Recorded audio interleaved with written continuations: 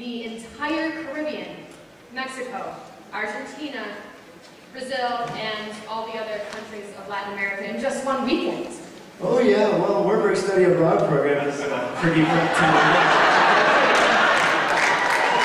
In fact, um, the reason I'm so winded is because I just got back from Colombia, where I mastered La Cumbia.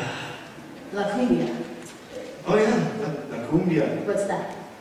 Uh, well, it, it, it originated as a courtship dance. Uh, and so thanks to me, uh, it's popular throughout Latin America. Oh, now I understand why you're so exhausted, Taylor. Um, well, since you're such a master, maybe you could, you know, demonstrate a couple of your moves, show us your stuff. Uh, well, um, I, haven't really stretched out yet or anything, but uh, I, I could show you maybe one or two moves, but Excellent, I'm excited, I want to see this. just a second. I'm really, I'm, I'm very interested to see what you're going to be doing here. The master you are. Okay, this is very dangerous. Just Okay, stand back. That's the great part.